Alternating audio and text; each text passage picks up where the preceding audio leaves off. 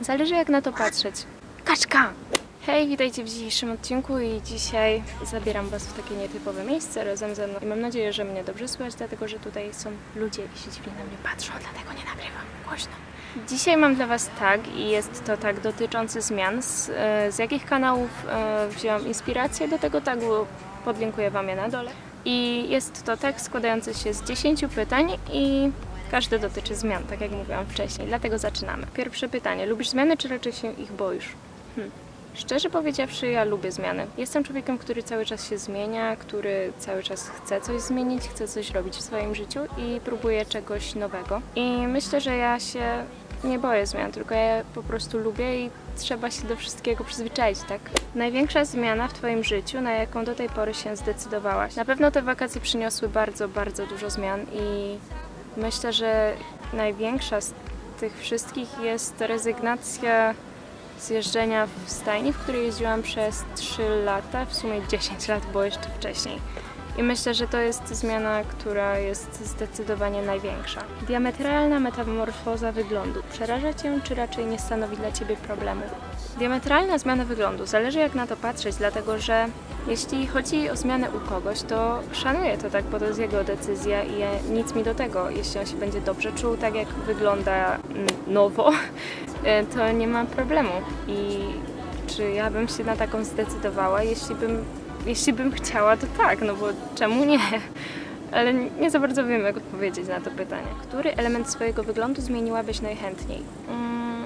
Ja od zawsze mam kompleksy na punkcie mojej twarzy, ale nie wiem.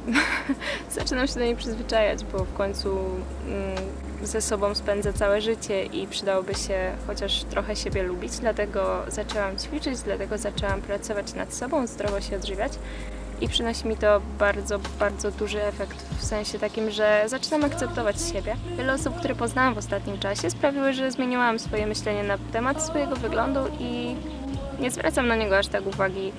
Czuję się ze sobą coraz lepiej, można powiedzieć, i bardzo mnie to cieszy. Cecha charakteru, którą najbardziej chciałabyś w sobie zmienić. Myślę, że byłaby to naiwność. Tak, uważam, że jestem naiwna, dlatego że zbyt często ufam ludziom, za bardzo ufam ludziom i często się to źle kończy, ale też wierzę w każde ich słowo i czy to jest żart, czy nie, to ja w to uwierzę. Nawet jeśli jest mm, coś żartem, to ja sobie biorę to na poważnie i się strasznie tym przejmuję i strasznie mi się od tego często psuje humor. I nie lubię, jeśli ktoś tak robi. Czy kiedykolwiek miała u Ciebie miejsce diametralna zmiana poglądów, sposobu postrzegania jakiegoś zjawiska lub osoby? Tak, e, była taka zmiana i były to zmiany w ostatnim czasie. Kiedy chorowałam na depresję, zmieniło się u mnie dosłownie wszystko. Jestem teraz bardziej tolerancyjna, bardziej rozumiem i staram się zrozumieć innych i w sumie na pewno nieraz e, diametralnie zmieniło się postrzeganie jakiejś danej osoby po tym, kiedy na przykład ona mnie w jakiś sposób zawiodła i nie mówię tutaj, nie musi to być osoba, którą ja znam, tak? Tylko to chodzi mi nawet o jakąś, nie wiem, jakiegoś sławnego aktora i po prostu kiedy taka osoba, która powinna być autorytetem zrobi coś nie tak, to zmienia się pogląd na nią i no, chyba każdy doświadcza takich zmian, tak mi się przynajmniej wydaje.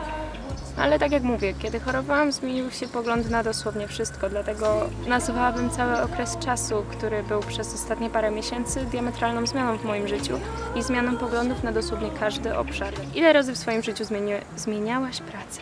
Ja nie pracuję, więc to pytanie się mnie nie dotyczy. Z którą znaną osobą zamieniłabyś się miejscami na kilka dni? Czy ja bym chciała się zamieniać w kogoś? To by było trochę bez sensu, to by było dość trudne. To jest dość trudne w ogóle do wymyślenia, jakby to było i jakby to miało wyglądać. Ale jeśli mogłabym być kimś, e, kogo uważam za autorytet na kilka dni i nie miałabym na przykład wyboru, żeby żeby zdecydować, czy chce się zmieniać, czy nie. U mnie byłby to duży youtuber, jakikolwiek duży youtuber, dlatego że chciałabym zobaczyć, jak potem wygląda praca na YouTubie, jak wygląda zajęcie się, zajmowanie się właśnie całą działalnością na YouTubie i wszystkich portalach, a mi nie spadnie tam. Ciekawiłoby mnie to, czy dałabym sobie radę, tak? I tylko dlatego chciałabym zobaczyć, jaką zmianę zaobserwowałaś u siebie w ciągu ostatnich lat. No Boże, w ciągu tygodnia nawet zauważyłam zmianę. Chodzi... Ja zmieniam się bardzo często, bardzo dużo i wydaje mi się, że codziennie i codziennie, co chwilę, nawet rano jestem inna niż wieczorem i mam wrażenie, że to jest może trochę nienormalne, ale właśnie tak jest.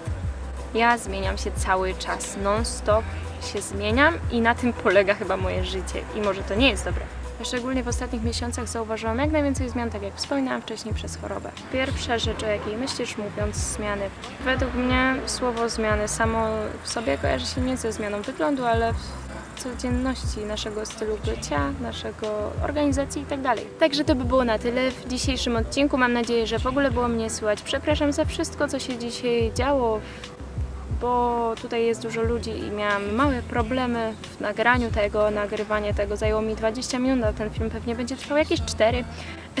Ale nie przedłużając, zapraszam Was na wszystkie portale społecznościowe, na których się udzielam. E, Wszystkie linki i nazwy znajdziecie na dole w opisie. Proszę zasubskrybujcie mój kanał, żeby być na bieżąco. Zostawcie lajka i komentarz, żeby mi było miło i żebym wiedziała, że ze mną jesteście.